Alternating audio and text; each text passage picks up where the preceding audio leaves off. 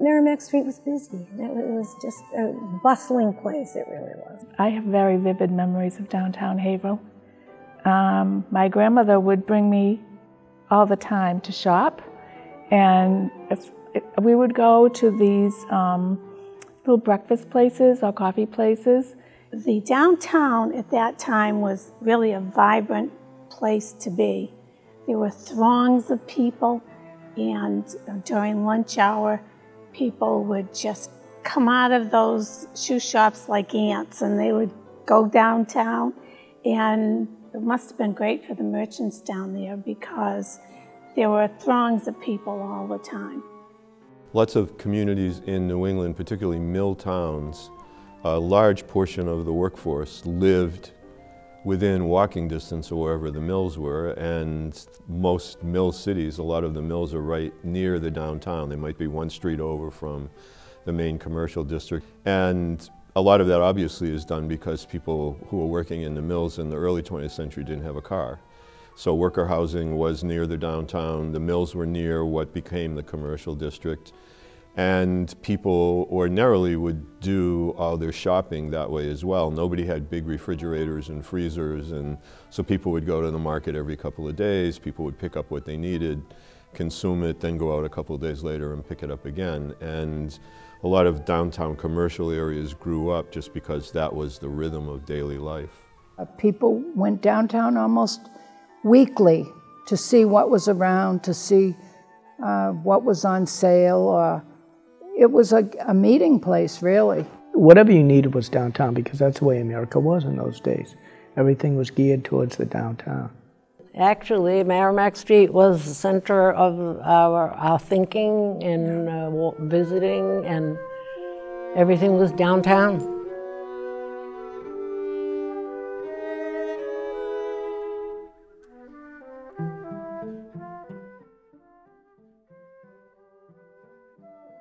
Going down with my mother. Well, I mean, we'd make, in a, a, sense, sometimes a day of it. You know, you'd have, you'd pay the bills and you'd have lunch down there, and um, because it was local people who were working in the store. I, my mother was someone who knew everyone, and so you know, you'd wander through the stores and stop and talk to the clerks, and you know. There was just so much to do down there. It was, it was bubbly, busy. If you were looking for something, you'd find it downtown, whatever it was furniture, jewelry, drugstores. So there was always something. I had a Haverhill National Bank. Of course, they uh, still had the post office there. Um, Kennedy Butter and Egg, Colonial Theater. Uh, Haverhill Gazette's office was there. You had the, um, I think both the electric and the gas company had um, stores down there. Barrett's was there. Mitchell's was there. Corellis Jewelers um, Seva Spears that became Park Snow, W.T. Grant's, uh, Newberry's, which was another uh, five and dime store, Lemkin's, Woolworth's. We would just go down for just every Sunday afternoon if we had nothing to do. We'd go down and walk on Merrimack Street.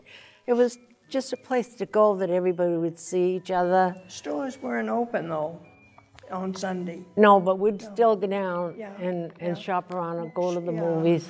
Do, uh, uh, what do they call it, window shopping. We just walked. Nobody had cars. There was an energy and vibrancy. Um, it was an exciting place to live. I mean, people from Groveland and New Hampshire would all come to Haverhill to do their shopping. It was the place to come. It was an opportunity to get out and see what's going on. I remember a lot of the people came down on Saturday nights. They, they'd come down in a bus to shop Saturdays. Every Saturday you'd see people from New Hampshire that would come down. People, particularly from southern New Hampshire, would come in because remember, this is before the day of uh, you know Rockingham Mall and this sort of thing. It was only a couple of stops on the train. Yeah, certainly southern New Hampshire. Um, it, they, people really had no choices. We were the big city for, for that area. One of my favorites, Pentucket Shoe Store, because they had an x-ray machine. And even though we didn't know, of course, it was dangerous in those days, but the big fun was to, you know, see your feet and see where they, you know, actually came in the, in the shoes. So this was This was the big treat. Right up until until they closed, I I I shopped at Barrett's Men's Shop for years and years and years, and it was a really good men's shop. I mean, I even when I lived in Boston, I'd do some Cam- some shopping over in Cambridge and places like that. Uh, I, to me, it was just a, Barrett's was just as good as anything you could find in Boston. Oh, oh, Kennedy's, the butter and egg store. That's what that was called. My mother always went to Kennedy's, and most of all my friends. I'll tell you, I can remember my mother taking me down. It was very common, taking me downtown Haverhill to Kennedy's egg and butter store, and about eight o'clock in the morning, putting me in line. This is during World War II, and I would. Uh, I'd stay there probably, to me, it seemed like I was there forever. They probably, I was there for probably a half an hour. And then one of my sisters would come down and get in line. And then another sister would relieve her until finally they opened up. And they, they'd only do that when there was a sale going on for something like butter, which was very rare to get. You didn't have butter in World War II.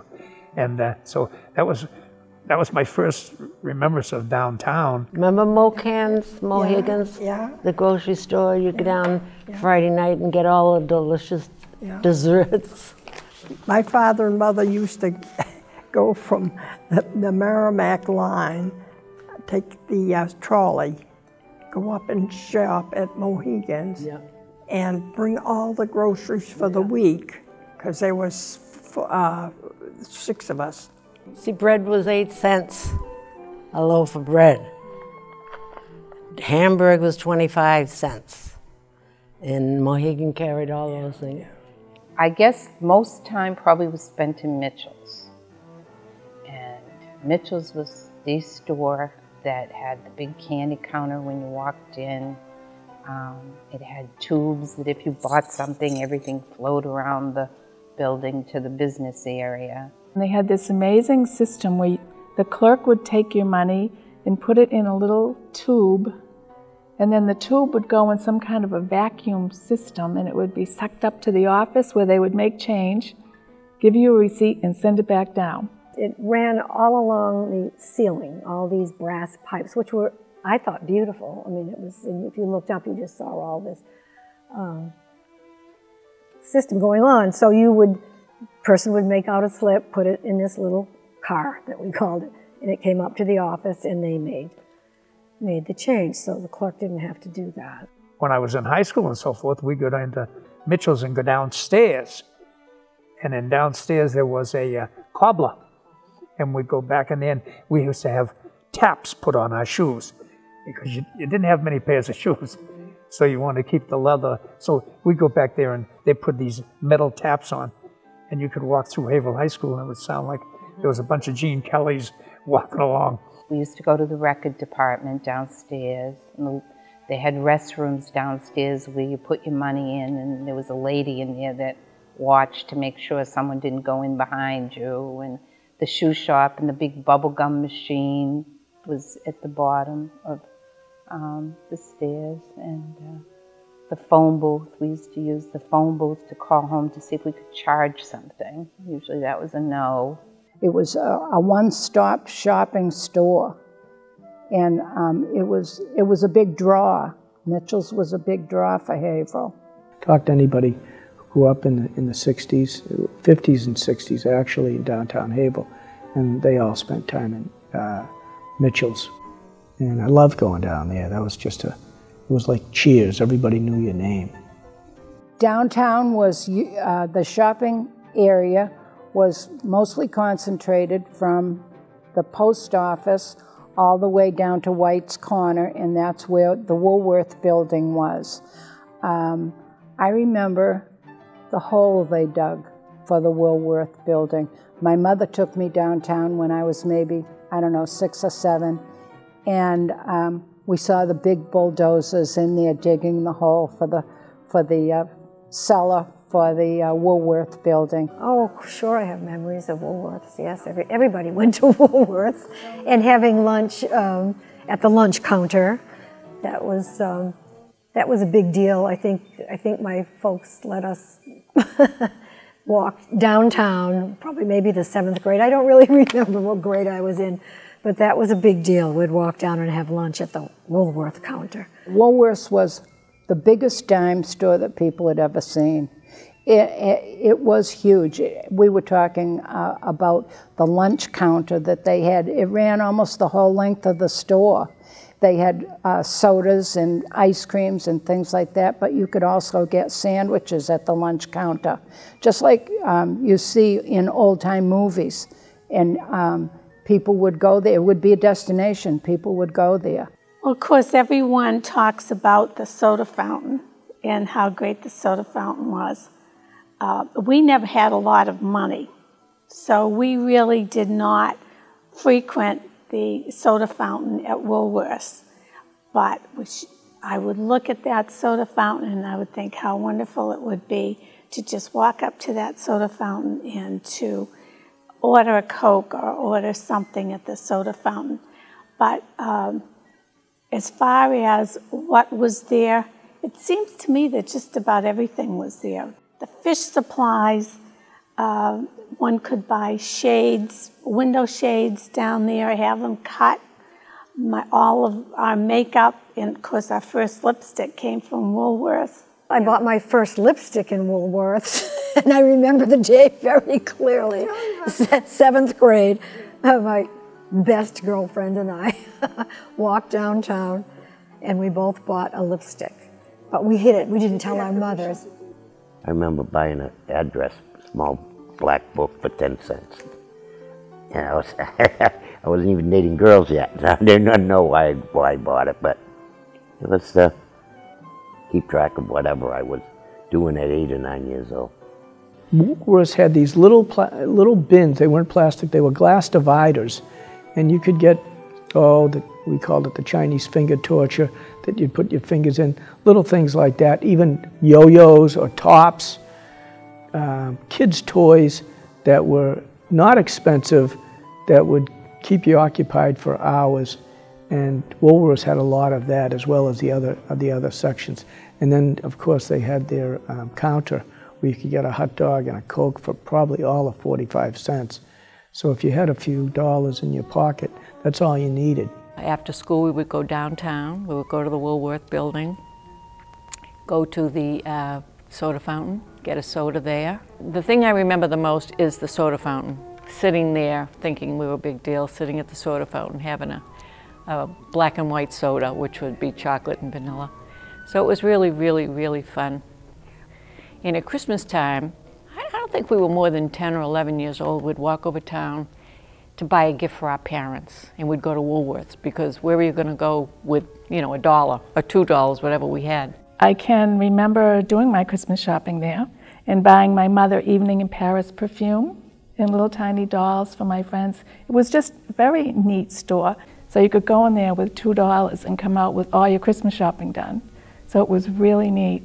And I remember specifically being at the snack bar having lime rickeys. And I remember that um, behind, somehow behind the food area, they had goldfish and birds and the birds would escape from the cages and they would be flying around the store. And occasionally the uh, canaries and the parakeets would escape and you'd have them flying wildly, you know, over, as, you know, we were there almost, uh, no, no, no, please don't mess on the, you know, things like curtains and, you know, all sorts of other things like this.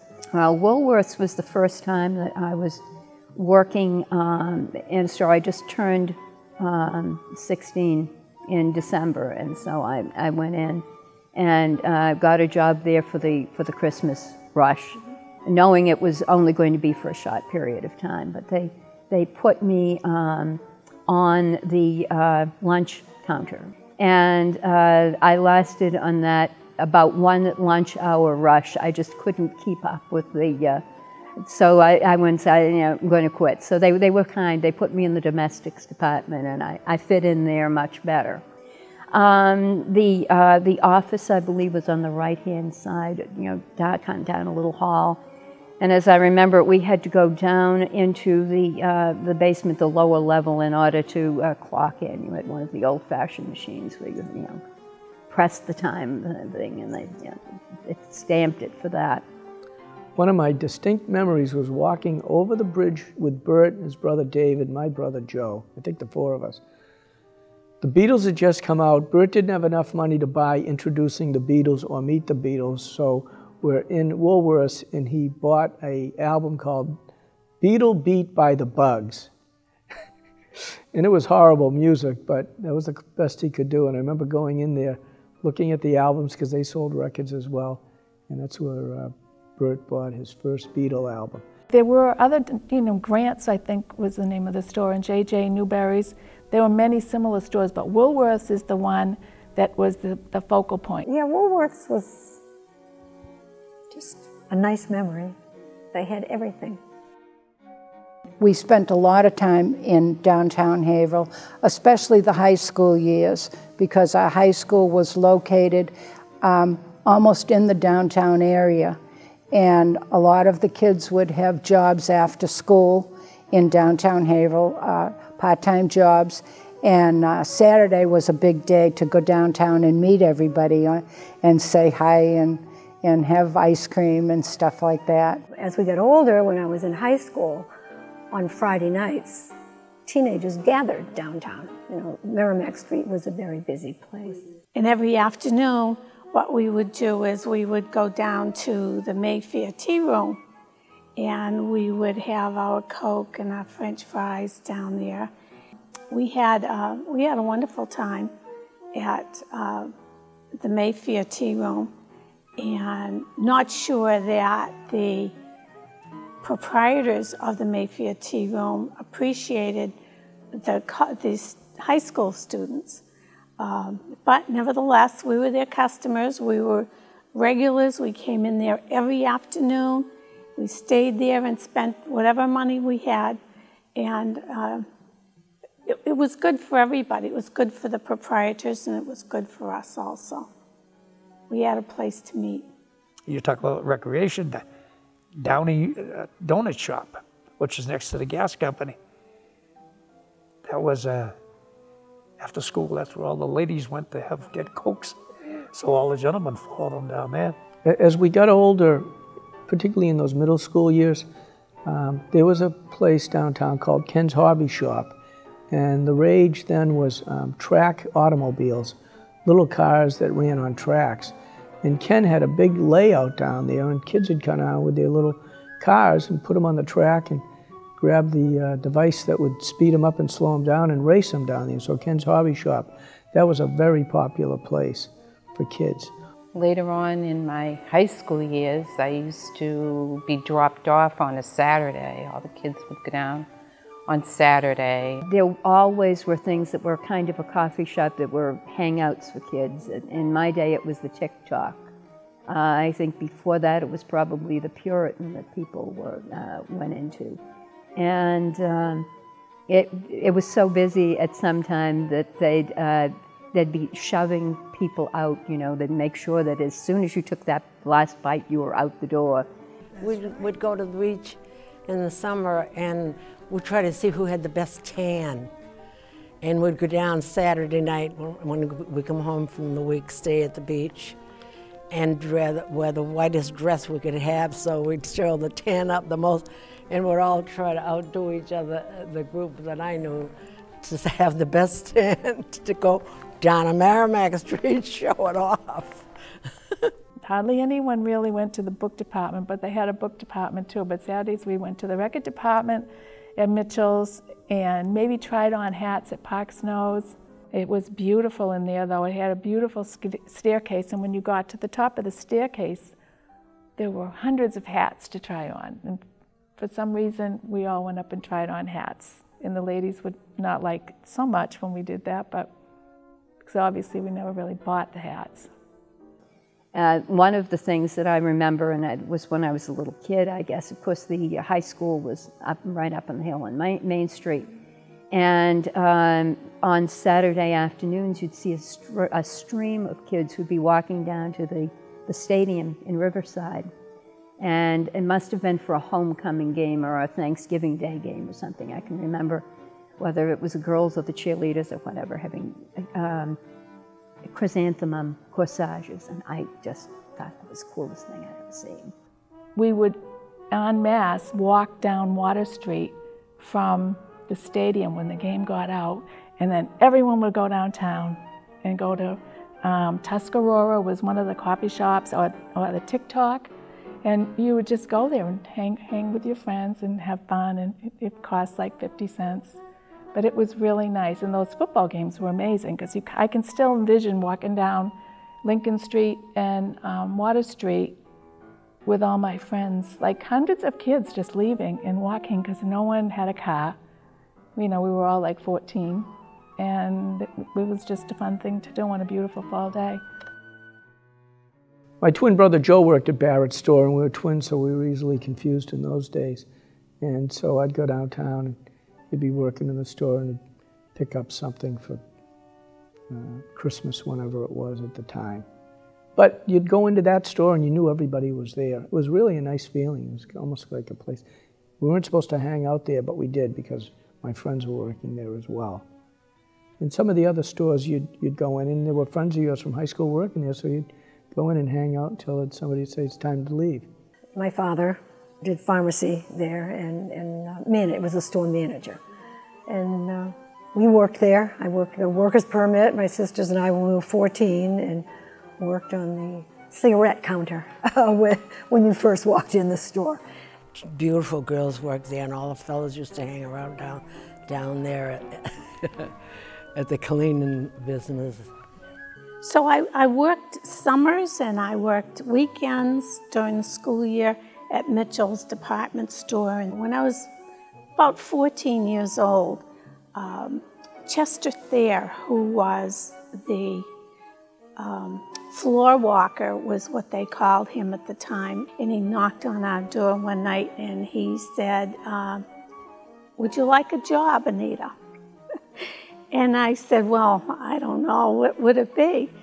And he said, Well, he said, I need someone on weekends on the chocolate aisle. So I went in there and I shoveled chocolates for all while I was in high school, as a matter of fact. And right next to the left was the jewelry counter in Mitchell's. And oh, I loved that jewelry counter. And I would go and sneak off and look at what they had for jewelry. Well, we came downtown. I can remember as a kid, we went to the movies. Picked up the Saturday afternoon matinees. No, we, we, at that time, downtown Haverhill had uh, plenty of uh, uh, theaters. There was the Lafayette, the Strand, the Colonial, and the Paramount. They used to go to the movies uh, at 10 cents. All movies, and you saw the main movie, the second movie, the comic strip, and the news. Uh, you were there practically all day doing that. And it was, uh, it, and then besides that, sometimes when you went to the Strand and you get a dish or you get a glass and you get to end up having a, a set of dishes on top of just being 10 cents.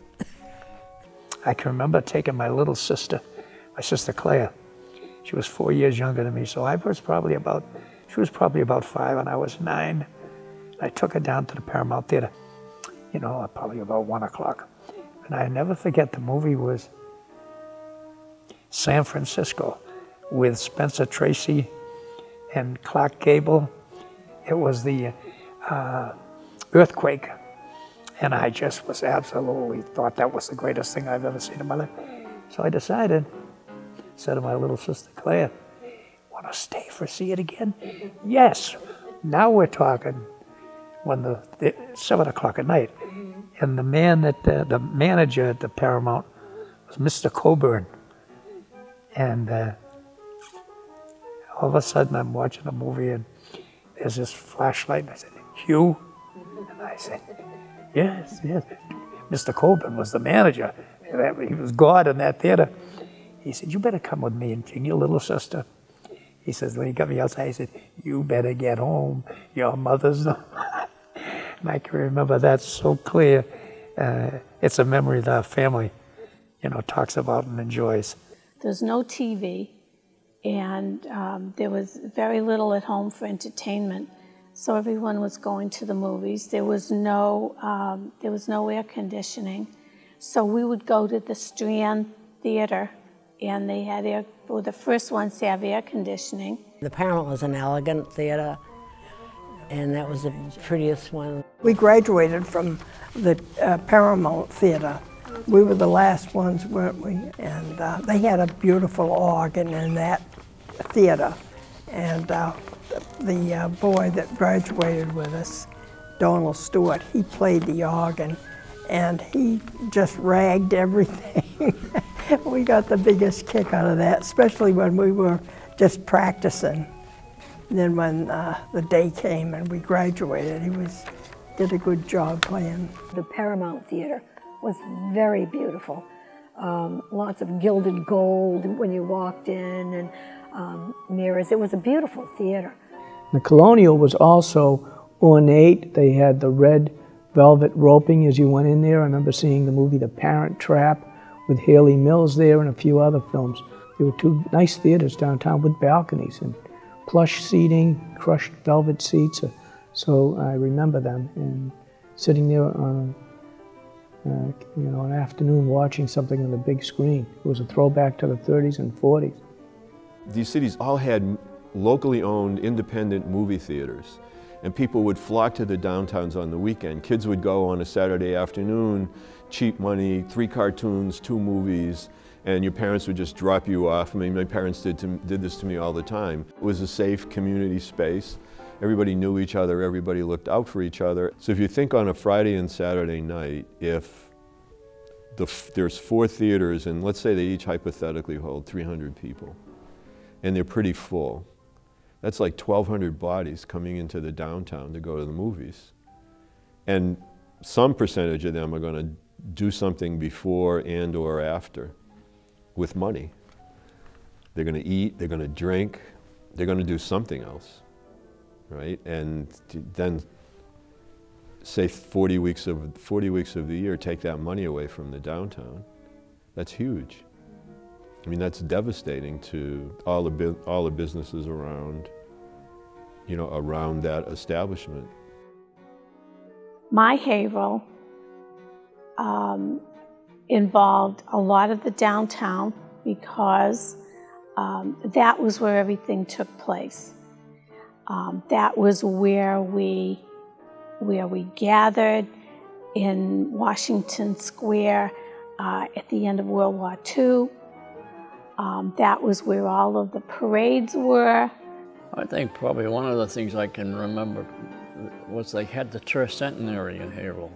Haverhill was founded in 1640, mm-hmm. so this was 1940. It was the 300th anniversary, and I can remember it was a parade. It's the first parade I'd ever seen in my life, mm-hmm. but I can't remember. But I do remember one stick thing sticks out of my mind. This great, big, huge policeman on a motorcycle riding along beside the parade, and he reached down and pushed me back. I guess I was so excited. I was leaning up, me get back, and I was like, and, and at my old age now today, I remember that so clear. Yeah, they had a regular parade, and we had some darn good parades, especially during the war. But when it was all patriotic, they'd go through downtown, and South Main Street in Bradford. They were big parades. As far as the music, uh, both the Army, Navy, Marine Corps, Coast Guard, they all had top-notch bands. and I mean, they were top-notch. I still, to this day, when there's a parade going by, I, I get chills, you know, I just, it's, it's sort of nice to see the parade.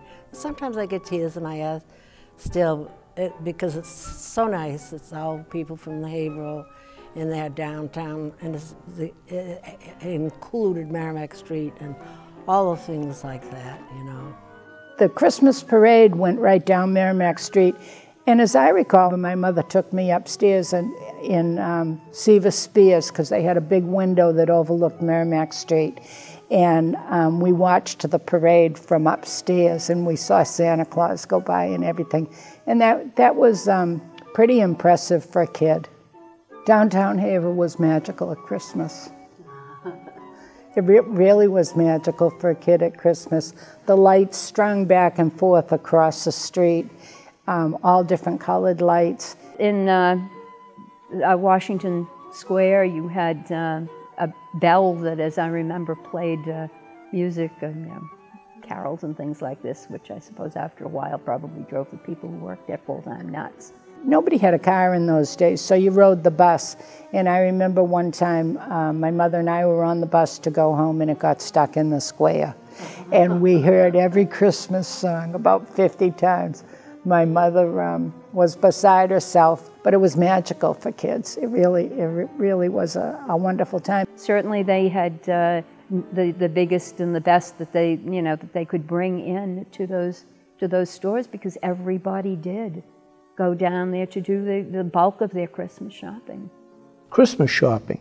I remember telling people I could go downtown, probably with about $12 in my pocket, and buy for everybody in my family, and that's six brothers and sisters, my mother and father, and my grandparents, because prices weren't outrageous, and downtown in those days during Christmas was bustling. No matter what the weather was, people were out walking, seemed nice. There were actually police officers directing traffic, letting you cross the street. It was a different world, totally different world that people can't even imagine today, but there was a bit of an excitement back in that era. At the snow, rain, or anything that street was always busy. And the sidewalks were jam-packed with people. I mean, you literally, you know, had to step into the street sometimes to get around people. When I think of the uh, Christmas spirit, you could feel it in the street. I don't know, it's just, uh, it was a, it was a nice time. And downtown Haverhill was, uh, to me, and I think to most people of my generation, uh, it was where the heartbeat of Haverhill was. It was, I think, the big thing with the roads. And, you know, a lot of housing developments came in. You know, right after the Second World War, there was a lot, like Riverside, there was a lot of housing that was put, put in on, people, people got their loans on the GI Bill, when they came out. A lot of what happened is when the money became available for people to buy a house, builders rushed to build housing and build single family detached houses. And the idea of people living in a block in downtown Haverhill, for example, became um, not, not as prominent. People thought they would make it economically if they could say, I'm a homeowner. And that became one of the measures of social economic success for lots of people. And so the mortgage, that, the mortgage programs gave people the opportunity to get money that they wouldn't have had before. And developers were looking for large tracts of land, which historically were going to be away from downtown Haverhill or downtown Lawrence or wherever else you look at in terms of this process. There weren't too many cars around in our time, so most everybody had to walk. Today, everybody has cars so they can go everywhere. Back then, you had to go downtown. And that kind of dwindled away after the highway came through. That, that opened up in 64 in the city, so a lot of it just went outside of downtown. The second thing was at the end of the Second World War into the early 1950s, a major highway bill gets passed, a major significant piece of social legislation that builds the interstate um, highway system. Now with the roads, they could live a little bit further away in one of these new housing developments and drive to work. Over time, what began to happen is developers realized that as more and more people are living in so-called suburbs, if you start to build retail, commercial, and eventually office parks as well, away from the downtowns, but near to the suburbs, you can actually meld the two, these two big changes together cars, transportation, people having their own homes, um, juxtaposed to an increased, the growth of shopping malls, strip malls, um, and again, eventually office parks, which siphon even more work away from the downtowns. Nobody thought when that was happening, this could really be the ruination of my downtown. But slowly over time, that's exactly what happened. When the Methuen Mall came in, that made a drastic difference. Um, people liked the idea of, you know, being under, being out of the weather and, and uh, going from store to store. This was the change that the uh, town was going through at that time. Everybody was, you know, was moving things out to malls, and this was the great excitement. And of course, everybody wanted to go there, but you know, With the advent of the plazas, it, it, it kind of drew the people to the outskirts. And with each of these plazas were a number of stores. Uh, there was a drugstore, uh, a package store, gyms, pizza shops. So the need to get down to Merrimack Street end uh, basically stopped. So all of a sudden you had these new shopping strip malls, not really enclosed malls, but shopping centers popping up, which drew people away from the downtown, particularly with automobiles, because there was parking, they were convenient, and they were new, and new seemed to be what people were looking for. I rode down there quite often on my bicycle, even given the Main Street Hill and so on. There was so much variety down there, so much to choose from. Whatever you wanted in life was there on Merrimack Street. That went by the wayside when urban renewal came through. They tore down a lot of wonderful old buildings. Uh, the Pentucket Club is one that really bothered me. Uh, and the old City Hall was such a historic building. And um, City Hall, my mother used to drop me at the door, and like perhaps it was a water bill, I don't know, but she would make tell me where to go, and I would run in and pay the bill. And I remember being in awe of the building. It was beautiful, and as a little girl to be impressed by a building like that is amazing. The library, City Hall, and the Pentucket Club were were um, amazing buildings and, and landmarks in the city, and unfortunately, they're all gone. As more and more mills left New England to go to the south, and then increasingly the ones that were left started laying more and more people off, that the way that you were going to grow the city again, the way that you were going to try to revitalize the community in some way was to remove the history. Um, and so it was a very controversial sort of a thing, but again, in uh, you know, cities around Haverhill as well as in Haverhill, that's what happened. Tear down a bunch of mills. The hope would be uh, that maybe some high-tech businesses would move into that empty space and build a single-story building to assemble computers or whatever it might be. Uh, maybe some of it would be taken up with housing, but the idea was if you ride around every day and see the old history, and the empty buildings, it discourages new private investment. It discourages new, uh, you know, people to come in and reinvest and do, do new things. And so a lot of urban renewal was that. A lot of urban renewal was tearing down um, city neighborhoods, um, clearing away several streets worth of wooden tenement housing, uh, old, you know, old blocks that had been mill housing because now there were no more mill workers. And now you've got all this housing that was dedicated to mill workers walking to work. Tear that down. And again, this thing, this all connects because the fewer people living in proximity to the downtown, the fewer people that are walking to Woolworths or Grants or the Five and Dime or the local barbershop or whatever it would be. And so tear down the housing, shrink the population that's living in the urban space, then the ripple effect is that the sandwich shop, whatever it is, has fewer and fewer people walking in. Simultaneously, more people are heading the other way to the suburbs.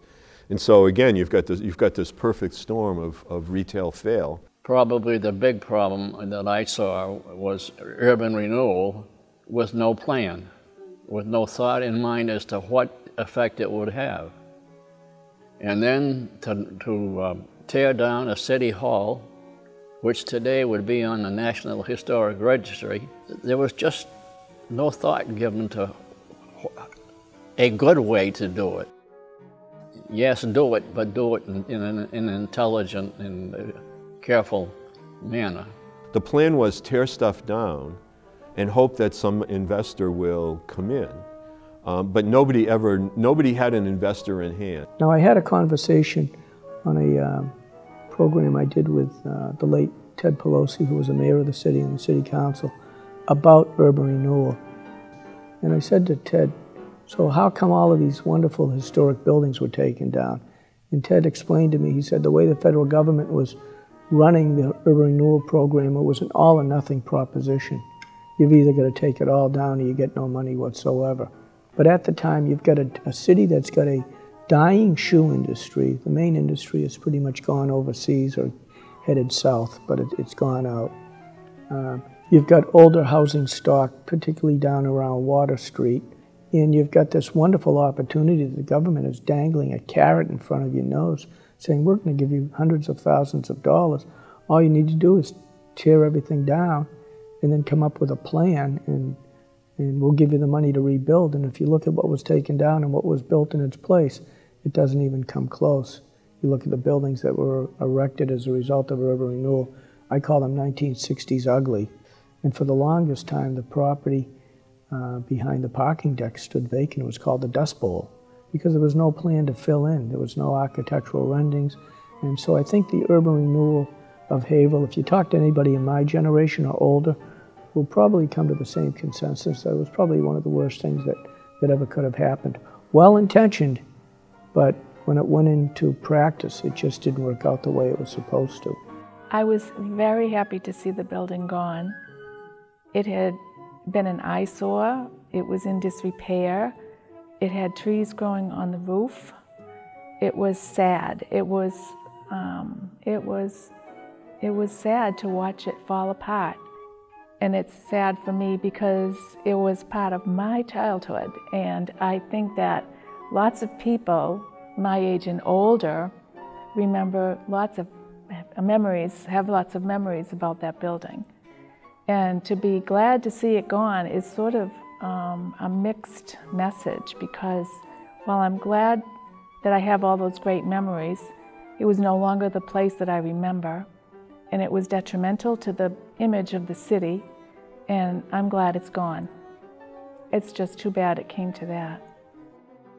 Lots of so-called millennials, young people that have graduated from college, let's say in the last eight to 10 years, are actually beginning to live more in small urban areas um, and that they're repopulating these places. And so that's definitely a trend. And they're also living in communities where there's accessible public transportation, which allows them to get, say, from this part of Massachusetts to Boston fairly quickly to go to work. And that's a trend and that's a positive and that's something a city like Haverhill can capitalize on. Speaking to people that, um, that I know, very excited about this whole project. I mean, uh, really, because it was a dead, you know, dead downtown basically. I mean, there were just a few things there.